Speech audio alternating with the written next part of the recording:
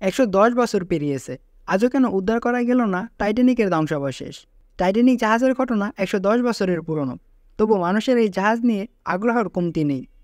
তাই টাইটানিক নিয়ে এগাদা প্রশ্নের ভিড়ে মানুষের মনে এখন প্রশ্ন উঠেছে, এত বছর পরেও জলের তলা থেকে কেন উদ্ধার করা গেল না টাইটানিককে? আজকে সেই প্রশ্নের উত্তর দেব এই প্রতিবেদনে। ব্রিটিশের বিশালাকার যাত্রীবাহী জাহাজ ছিল আর এম এস টাইটানিক। ওই সময় সবচেয়ে আধুনিক ও বিলাসবহুল জাহাজ ছিল টাইটানিক। গ্রিক পুরাণের শক্তিশালী দেবতা টাইটানিক। তার নামের এই বিশেষ নামকরণ করা হয়।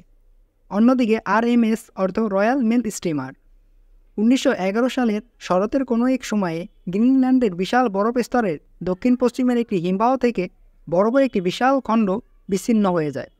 পরে কমাস ধরে এটি ধীরে ধীরে দক্ষিণ দিকে ভেসে যায়। ভাসতে থাকার সময় সমুদ্রের স্রোত আর বাতাসের ধাক্কায় হিমশৈলটি ধীরে ধীরে গলতে শুরু করে।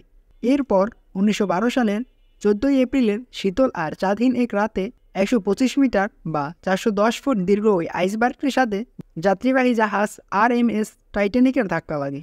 সংঘর্ষে তিন ঘণ্টার মধ্যে জাহাজটি ডুবে যায়।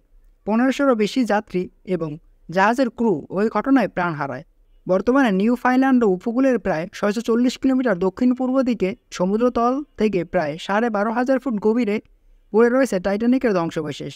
কিন্তু এত বছর পার হয়ে যাওয়ার পরেও উদ্ধার করা সম্ভব হয়নি টাইটানিককে, কারণ অভিশপ্ত এই জাহাজের ধ্বংসাবশেষ রয়েছে মিডনাইট জোনে, যা এক হাজার মিটার গভীরে। এছাড়াও সমুদ্রের গভীরে গেলে চারপাশে জলের একটা বিপুল চাপ থাকে।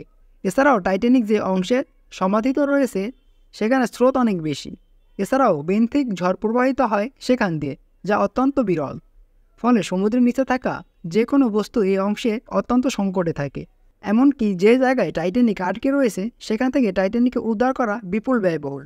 এসব কারণ মিলে এখনও উদ্ধার করা সম্ভব হয়নি টাইটানিককে